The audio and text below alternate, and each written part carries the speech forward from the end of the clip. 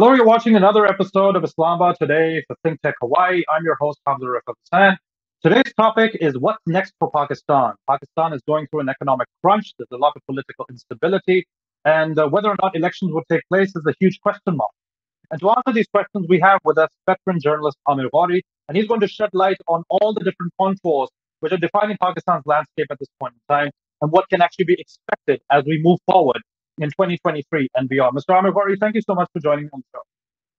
Thank you, Hamzah. All right, so Aamir, let's start off with you know the basic question: What's next for Pakistan? Now, you do have rising sovereign debt, you do have an economic crisis, you do have a lot of political instability, and there are no signs of elections.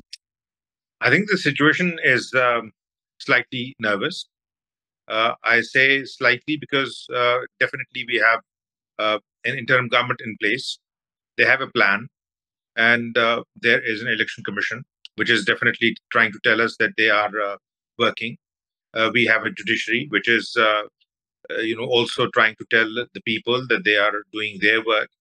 Uh, but as you mentioned in your intro, the issue is not politics. The issue is economy, and on that, Pakistan has you know consistently failed over the years and Pakistan has not only failed uh, to create uh, a viable economy where most of its uh, younger people are gainfully employed. We are now uh, a youth bulge, which is, I think, one of the most unmatched youth bulges in the world, which do not have uh, a job. And that is why we are seeing new trends that anybody who can leave Pakistan is ready to leave Pakistan, and there are many of them are leaving Pakistan. So, uh, you know, what next for Pakistan is? Uh, Pakistan, sadly, uh, is following a cyclical model of governance where every few years we see that the politicians who have been handpicked by Pakistan's very powerful establishment and then given a chance to run a country which uh, they do not have any experience of running. And that's why we have seen that uh, despite political parties who claim that they are political parties, are no more than a political cult of few families. Uh, and that is why we have seen you know, a gradual decline in each and every facet of Pakistani governance and society, whether it's education, whether it's health, whether it's governance, whether it's uh, human rights, or any other thing. So that's why I'm uh, people like me are concerned that when you know the interim government is trying to tell us that uh, they will actually hold elections uh, when Uh, they are, uh, you know, basically uh, told by the election commission that the election commission is ready. Uh, we are seeing a couple of hitches there as well. But I think Pakistan will, uh, you know, just jump over them. Whether they are happened, they they happened in next three months or four months or five months, they will happen. And political parties which have, you know, recently worked as a coalition government, although we know that that coalition was not a coalition of the uh, willing. You know, they know that uh, they had uh, been thrown a political challenge in the form of Imran Khan and his political party. But since that challenge has been effectively taken care of, I say again, effectively taken care of because I believe that they have been taken care of. Uh, and if Imran Khan and his political party have to fight back, uh, it will be an uphill task.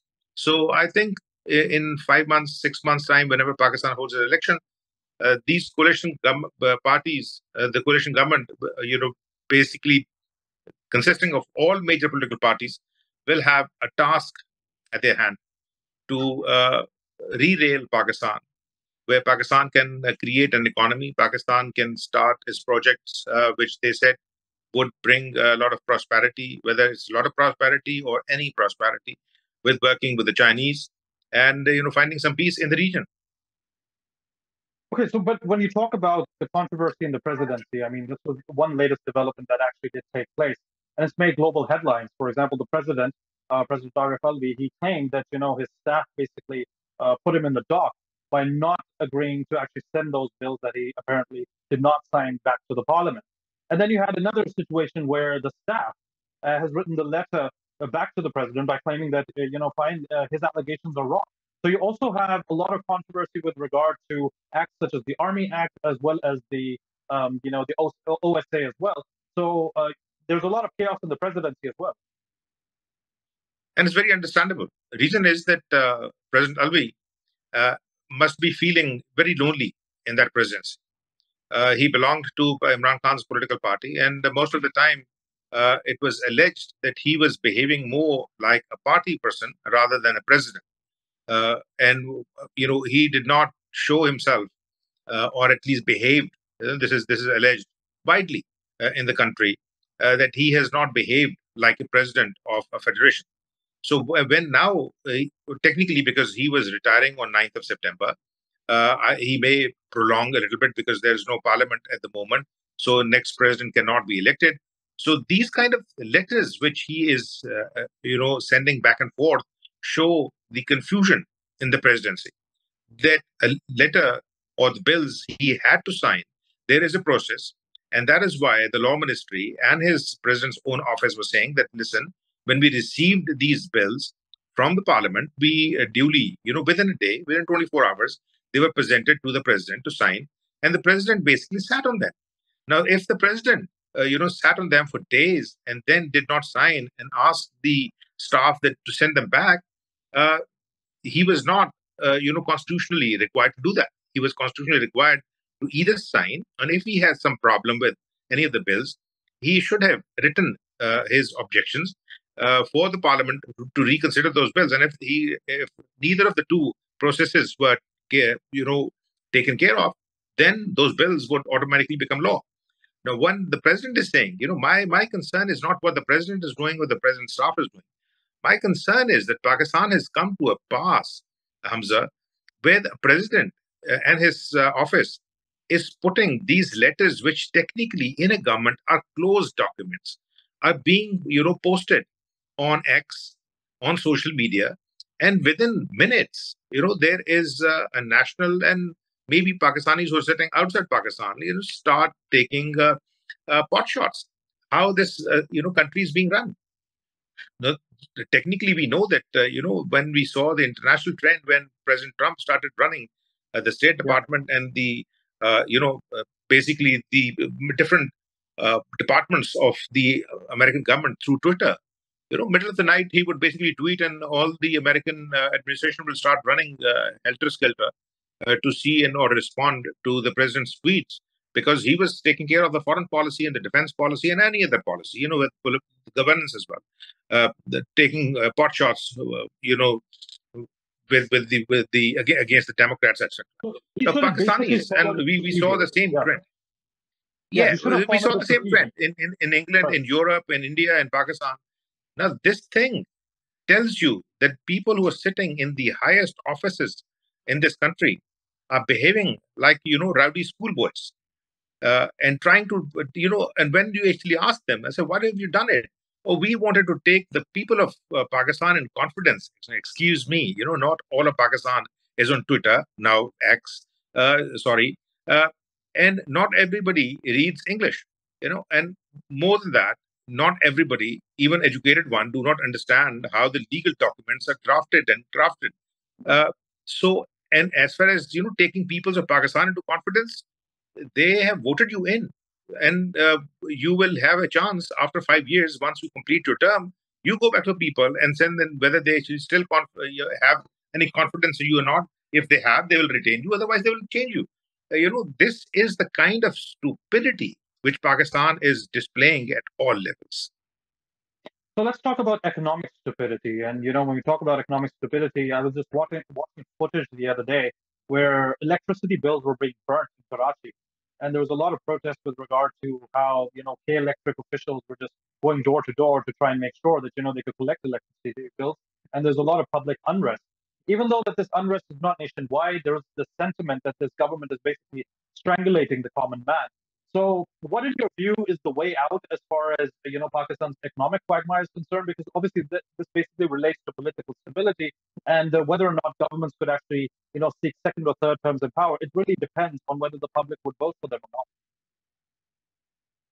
Hamzah, uh, in the 35 years since I you know joined media in Pakistan, I've heard from the civilian governments and the military governments, you know, same mantra because when military governments in place they used to bring you know people pakistanis who have served in different american banks or international banks for 30 years outside Pakistan. They did not have any connection with Pakistan or Pakistan's economy or Pakistan's governance, and they were brought in and basically posted here.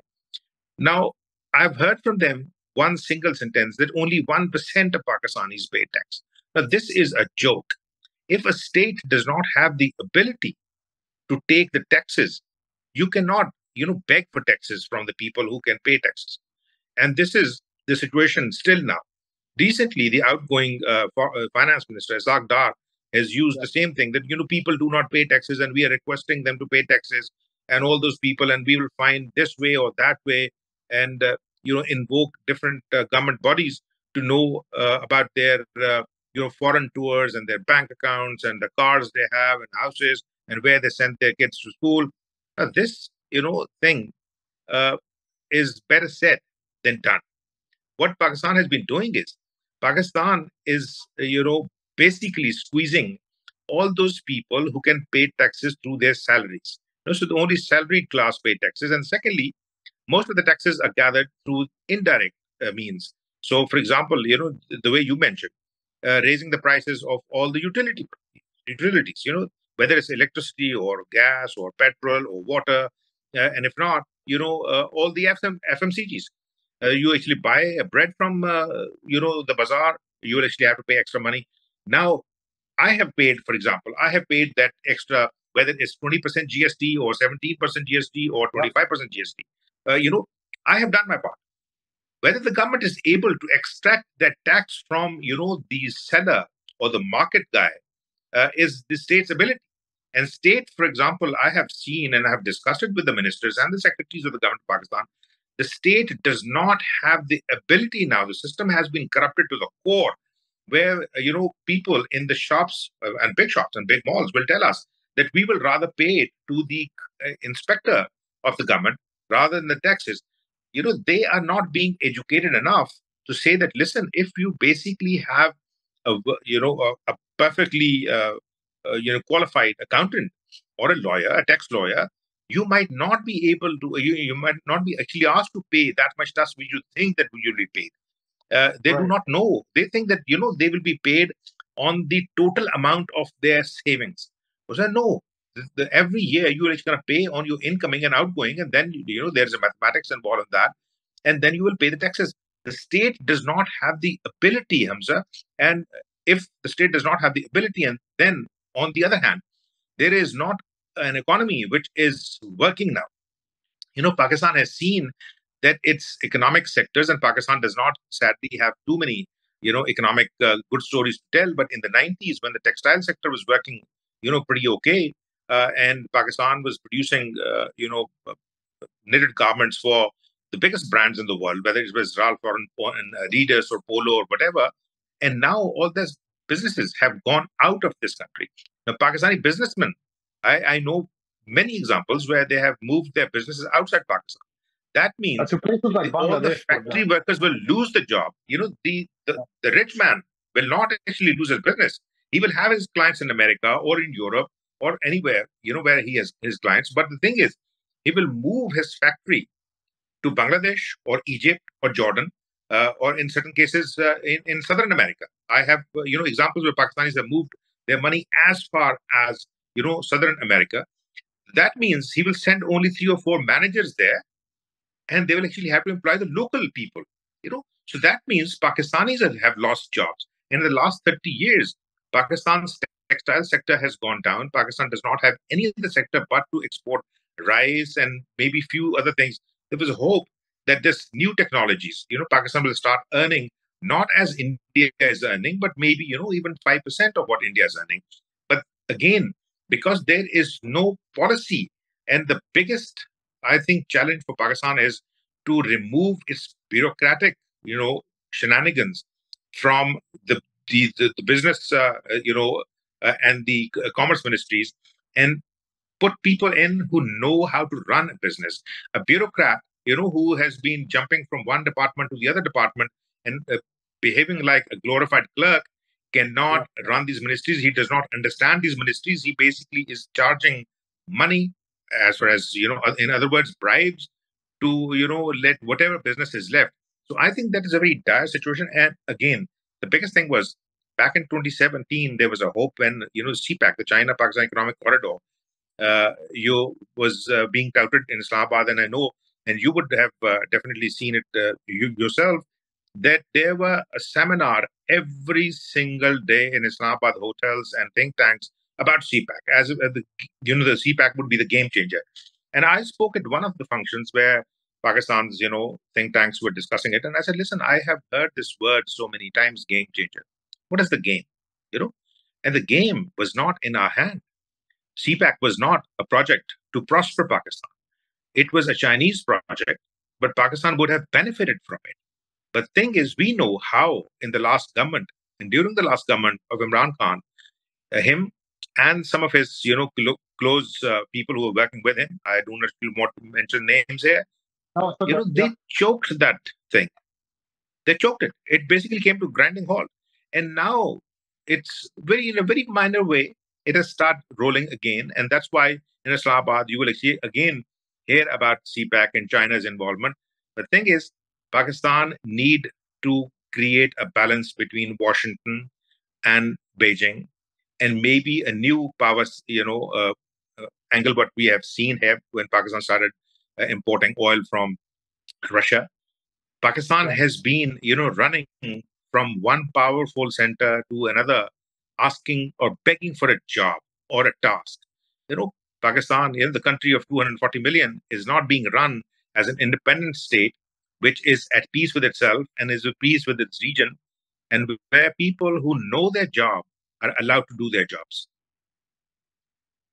Let's come to the controversy between the president and the election commissioner of Pakistan, uh, Sikandar Sultan Raja and President Arif Alvi. There was this conversation that did take place yesterday where they were just trading barbs over the fact that who is to decide when the election would actually take place. Now, the ECP commissioner basically said that uh, the election would take place based upon the ECP's own directives because of the fact that uh, the latest election act was actually amended. And the president claimed that no, it has to be, uh, you know, it has to take place in 90 days. So when do you see elections happening? Do you see it happening in February or March or maybe earlier? Because there's so much uncertainty with regard to this, uh, you, you could say, painful democratic transition, which would ultimately usher in some degree of political stability, if not at all. Now, on that uh, very tricky question, I have you know two theories. One theory is what is being touted, but it was being you know told to the people, and then my conspiracy theory. Uh, first thing first, I think the president, whatever he's trying to do is, I think he's trying to tell his party, the PTI, uh, and you know this government, which is the caretaker government, that he means business, and if he is not listened to, then he will create you know whatever trouble he can create. But thing is, let's let's suppose that uh, the Election Commission of Pakistan has taken a very, you know, straightforward position that listen, after the recent, uh, you know, uh, legislation through the Parliament, uh, President has lost his, uh, you know, power to uh, push, you know, his idea that how Pakistan will and when Pakistan will actually have an election. He does not have the power to push the Election Commission to give a date. And ECP says that you know we are the final arbiter here, and we will do it when uh, we will do it. And then they have thrown this uh, spanner in the works that listen, because after the digital, uh, you know, counting of the numbers yeah. of people who will be, you know, and the last before between two, 2018 and now 23, almost, you know, uh, 20 million people, new people have been added to Pakistan's population. That that means a lot of people will be over 18 and they will be coming to the election booths for the first time in their life. They will use their right. So election commission i think will can work you know within the next three to four months on on that. Because this whole thing which has been you know being told to the people through television and through social media that maybe this new uh, limitation uh, you know the delimitation of constituencies and uh, as if it's a huge work i don't think that because you know there is no parliament you need a two-thirds uh, majority of the constitution to change the numbers of constituencies in the country. You cannot do that you know so that means the number of constituencies will not change. Maybe certain tweaking on the basis of population certain constituencies will be you know uh, recrafted or re uh, you know arranged. Uh, but the number of seats will not change. So as an election commission can do this thing in next uh, you know 3 months if uh, you know they want to do it. The thing is uh, the the outgoing government some of some of the ministers of the outgoing government and some of people who are you know know what is actually happening on this front when they sit in television programs and discuss that you know this thing might take you know a few months that means if election does not actually happen in november they might actually happen in february. Uh, and some people say that no if supreme court actually wants they can come in. I said even supreme court cannot basically push the the, the process of election. They can or, pass an order. But in the final scheme of things election commission will actually have to deliver it and they will deliver it and they will find you know legal ways and means to do it. Now, the conspiracy theory. You remember when yeah. Pakistan was finally given this 3.2 billion by the IMF. You know, they tied this thing to Pakistan in three tranches. And they said that 1 billion would be given to the outgoing government, which is gone. 1 billion would be given to this government, which is caretaker, and 1 billion would be given to the government, which will basically be in power, in seat after the election. So technically, if IMF sees and the international, you know, donor agencies, whether they are all Bretton Woods, uh, you know, institutions, if they think that Pakistan is not listening to and Pakistan is not delivering on the promise of elections, and if there is not a government in time in place, they might, you know, say that okay, fine, this money is here for you already, you know, agreed upon, but they will be going to give it to when there's a new election. And the way we are seeing in the last few weeks the depletion of the Pakistani rupee against the dollar and against you know, the international currencies. I think the people who are in power, and we know who is in power, they will see that if Pakistan is financially be going into a pit, they might find ways and means to go for an earlier election, maybe in December, okay. maybe you know towards the end of January. Now that is my theory at the moment, because the economy will be you know will be the, the big question whether Pakistan will actually have an election on time or not. All right, so let's talk about the future of Pakistan's electoral landscape with, with without without Khan and the PTI. Obviously, many of their workers were incarcerated. Uh, many of them have been allegedly tortured as well. And you do see this concerted attempt to try and break the party from the powers that be, as you rightly mentioned. So, in that in that regard, do you see any future for the PTI in the upcoming electoral landscape? Because obviously, their Ali Zafar just recently mentioned that you know they do need a level playing field in order for the elections to be committed smoothly. Uh, what? How do you see the future of the PTI and the future of Imran Khan?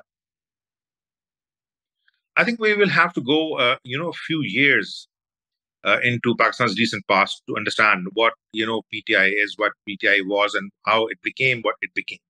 Now, in 2018, we know that PTI was not winning the election. We know that Imran Khan, you know, uh, at least I can say that I know certain, you know, facts and certain, uh, you know, uh, inside information which we cannot discuss here.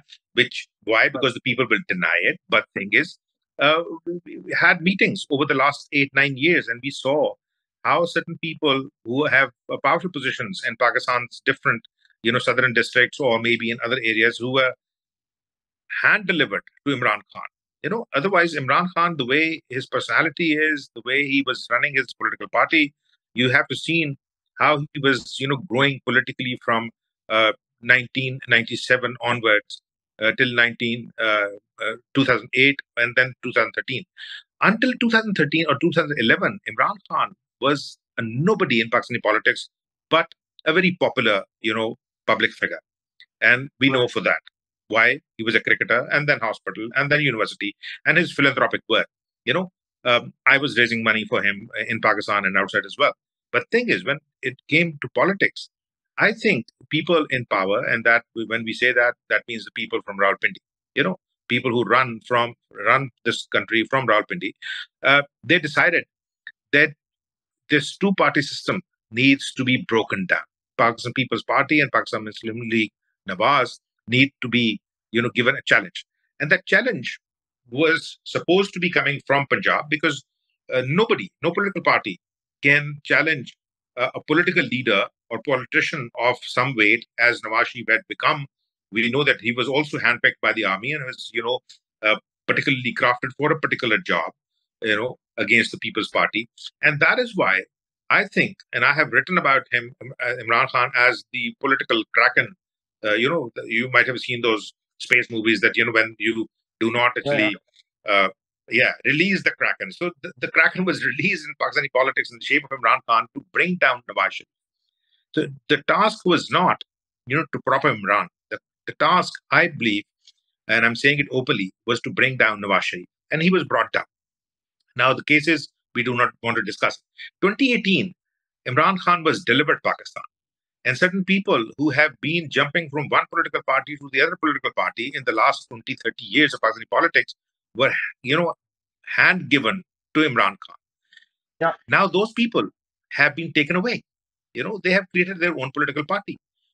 But Imran Khan, because he definitely is, uh, you know, uh, charisma, has been sold to millions of young Pakistanis who were sick and tired of the old political parties because they have also failed to connect with Pakistan youth. And that is the only thing which I think is, you know, basically being touted as Imran's popularity. But thing is, Pakistan's election does not happen like an American election, where you have two parties. And it yeah. does not basically run on two personalities. Pakistan's it, politics it's not is on an electoral college either. Exactly. So the thing is, Imran will actually have to create a new team. Now, while he's in jail, I don't know whether he or his close associates, there are very few now left, you know, will be able to create a new team, and that new team will be known to the people. You know, just supposing that you know he has achieved a level of popularity that whoever he will give a ticket to, you know, will downright, you know, outright win. I think this is a fallacy of Pakistani politics. I personally think uh, Imran will actually have to face a lot of difficulty, the legal difficulty in the courts. He will be, uh, you know, facing uh, Pakistani courts as he has made the other politicians face in the last five years. And while he will be, you know, running from this court to the other court, Pakistan will go into elections. What I see the future of Pakistan, the way you actually ask, is I think Pakistan will actually have a very weak, uh, you know, coalition government. I I see I might be, you know, complete, uh, you know, proven completely wrong in a few months' time, but I see Punjab and Federation would be given uh, uh, to PMLN. Now, when I say given, that means they will be allowed to win.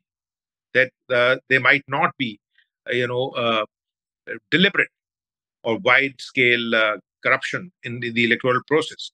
The reason is that in the last elections we saw, in even in 2018, that Pakistan Muslim League Nawaz won a lot of provincial seats, and Pakistan, Punjab has you know 141 seats, 142 seats for the National Assembly. I personally think they will actually win around 100 seats. Uh, reason is, and then because the southern Punjab, we have seen again, you know, the the uh, emergence of a new political party, basically based on all those people who were uh, touted as selectables or electables in the last elections. Now, those selectables, electables the main people who were again touted as Imran Khan's, uh, you know, ATMs, uh, machines, uh, are not with him. And they're angry because they did not get what they thought would get under Imran's government. And uh, they will definitely go with the government who would be, uh, you know, winning most seats. And uh, Pakistan People's Party has Sindh, you know, completely in their grip. We will see Maulana Fazlur Rahman's party again winning few seats in uh, KP, and he also wins few seats in Balochistan. The yeah. other party which was created uh, in Balochistan, the uh, Balochistan Awami Party, oh, I think that main characters, the main characters of that party, uh, would uh, join either PMLN or Pakistan People's Party. The, uh, you know, and uh, whoever is left uh, will actually have to agree to the dynamics what I see Pakistan is having, you know, a coalition government based on five to six or may, maybe seven, eight uh, parties. It will be a weak government given a task to, you know, uh, resurrect Pakistan's economy. Uh, again, the biggest challenge any government would uh, face in Pakistan. As far as Imran Khan is concerned, I think uh, his uh, difficult days are ahead. He is not kind of over the difficult days his difficult days uh, are are uh, you know ahead. Okay. Uh, Amerson, we're running short on time, so very briefly, uh, obviously Pakistan is also located in a neighborhood where you do see the spike in terrorism pretty much. I mean, there's a palpable threat from terrorism. You've had TTP attacks within Pakistan. The Afghan government in Kabul is not necessarily uh, willing to try and crack down on all these nefarious elements. I mean, you have the likes of uh, the Islamic, um, you know, the uh, the ETIM or the East Turkestan Islamic Movement, as well as the TTP in Helmand province as well. So, how do you think Pakistan will be able to navigate through these security challenges? If you could just briefly just tell me uh, what the security landscape would look like uh, as we move forward. I think the security landscape would, uh, you know, get worse if Pakistan does not, you know, take steps. And these steps do not mean that you know try to kill all those people because it beats me uh, badly whether it's uh, the TTP, the Tehrik-e-Taliban Pakistan, groups like them, or ISIS, or this movement or that movement, because most of uh, these groups, uh, you know, you have studied uh, in America and you understand international relations and how international politics is run. You know, it beats me completely how these groups who are working in landlocked areas, you know, whether they were, uh, you know, ISIS when he is fighting in Syria, or you know Tehrik-e-Taliban Pakistan, which is now fighting technically, you know, against both enemies. You know, Taliban were not uh, pro TTP, and Pakistan definitely wants to see the end of them. How they are able to maintain, you know, this warfare for years. So we need to understand that. And unless and until Pakistan finds peace with the countries in the region, and I'm right. saying India and Afghanistan, because I was there covering, uh, you know, when the American officials in the highest level came to see the Taliban in Qatar in 2013. The thing is, imagine uh, your enemies, you're fighting your enemies, you're coming to talk to Taliban, who are technically your enemies in Afghanistan, but they're based in Qatar, which is the head office of the Central Command. And the American Secretary of State, John Kerry, is flying in to meet, have a discussion. That means the game was already up. That means Taliban you know, were working with the Americans, you know, uh, and uh, what we have seen, you know, Afghanistan actually has seen back to back eight years of uh, Karzai and then uh, Ashraf Ghani. And then the way Afghanistan has been handed over to Taliban. I think Taliban are sitting in Kabul. They are not concerned about Pakistan and Pakistan security. They are, yeah. you know, maybe dealing with some other bigger issues maybe the China, maybe the you know the the BRI, maybe the Chinese uh, effort to get via Afghanistan to Iran and other countries. So they might be given a bigger task by other. This is again my theory. Pakistan will have to find peace with India, and how Pakistan will be able to find that peace. It's up to Pakistanis.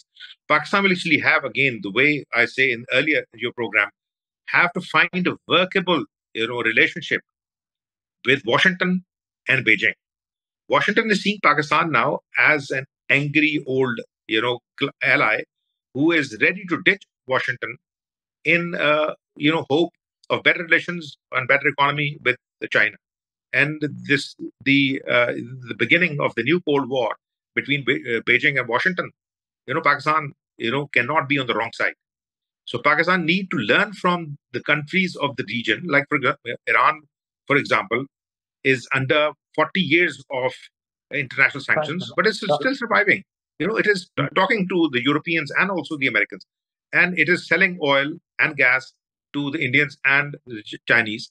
So, why Pakistan actually has to be a country which talks about its relationship with the West uh, and the East is finding it hard to find peace within. Because remember, Pakistan was not fighting a war with India or China or Afghanistan or Iran.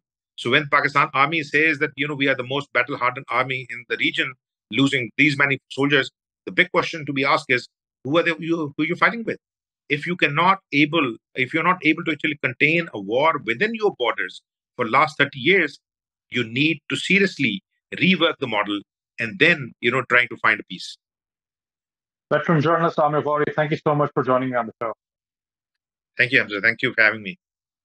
That's all that we have from Islamabad today on Think Tech Hawaii. You can follow us on our social media pages and do provide us with your valuable feedback. Until next time, take care.